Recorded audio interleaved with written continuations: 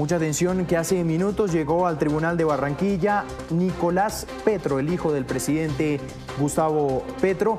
Eh, Margarita, ¿por qué está en el Tribunal de Barranquilla hoy allí?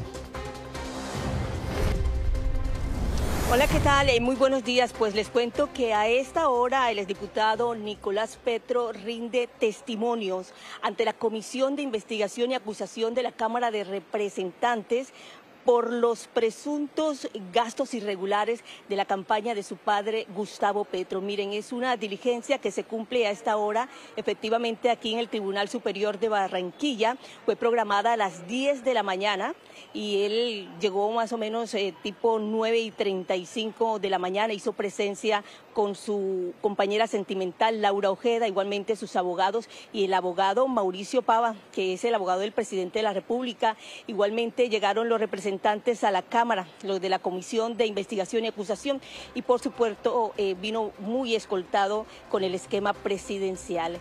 Eh, entonces, eh, pues repetimos, está rindiendo testimonios ante la Comisión de Investigación y Acusaciones de la Cámara de Representantes. Esto es en el marco de la recolección de pruebas por la investigación de los gastos de la campaña presidencial de Gustavo Petro.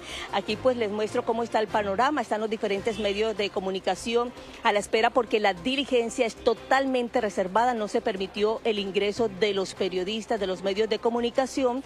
Eh, pudimos captar algunas imágenes pues cuando ingresaron a la sala donde se realizó la diligencia, pero estamos a la espera de que una vez culmine, que no sabemos en qué tiempo, eh, puedan eh, pues entregar información a los medios de comunicación sobre lo que sucede o lo que sucedió allí adentro durante esta diligencia.